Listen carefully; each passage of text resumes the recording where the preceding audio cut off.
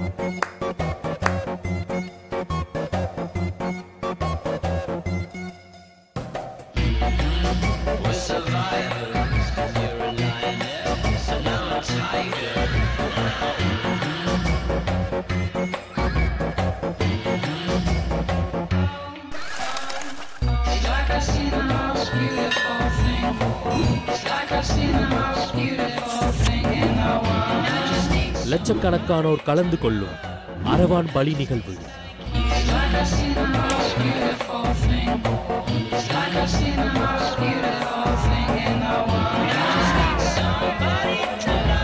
Pincode இந்த வாரம் குவாகத்தில் இருந்து வரும் ஞாயிறு பகல் பனிரெண்டு மணிக்கு.